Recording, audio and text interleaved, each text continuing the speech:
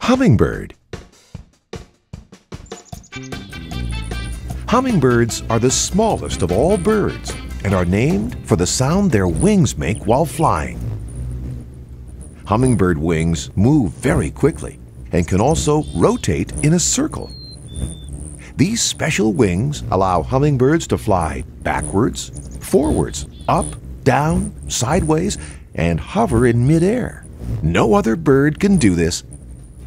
Because they spend so much time flying, hummingbirds have very weak feet, so you won't likely see one hopping down a sidewalk.